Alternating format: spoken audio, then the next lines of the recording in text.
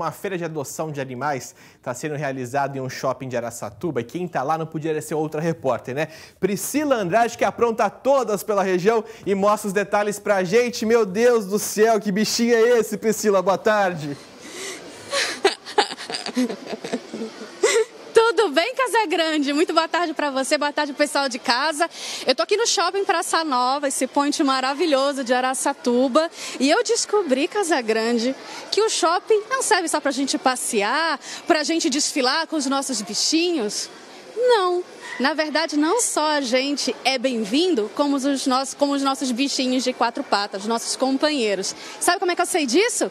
Em algumas lojas, se você de casa perceber, tem alguns adesivos que estão escritos pet friendly, o que significa que não só você é bem-vindo, como o seu cachorro ou gato pode acessar a loja. Como é que a gente sabe disso também? Dá uma olhada aqui.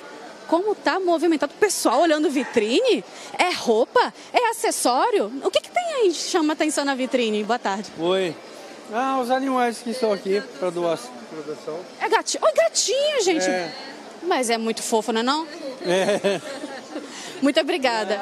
Vem cá, que você deve estar curioso para saber, né? O que, que a gente tem aqui dos animais. Tudo bom? Muito boa tarde. Licença. Olha essa festa. Vem cá. Obrigada. Olha aqui, gente.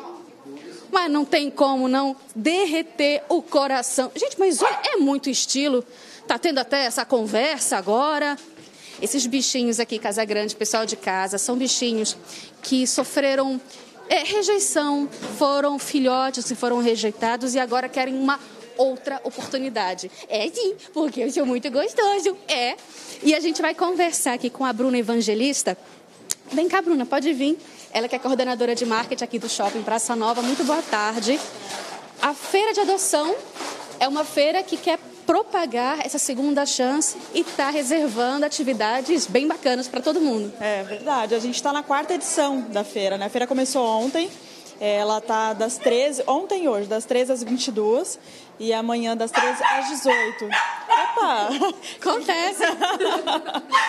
e ele quer participar também.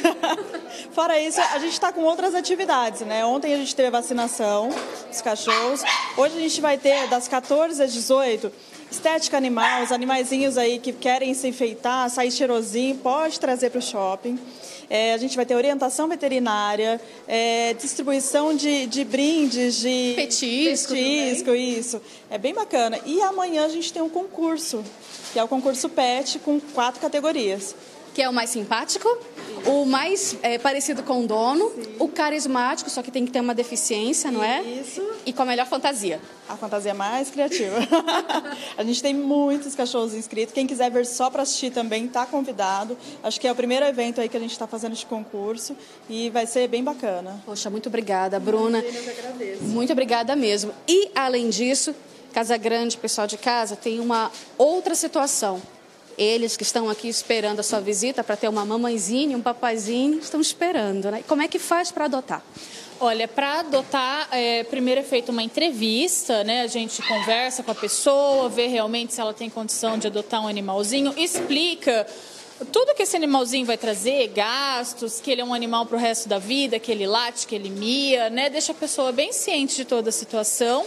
É feita uma ficha de adoção, a pessoa assina e depois nós fazemos a entrega desse animal na casa para ver até se a pessoa realmente falou tudo aquilo que ela tinha comentado com a gente. Excelente, de olho, adoção responsável. Muito obrigada, obrigada viu, Carol?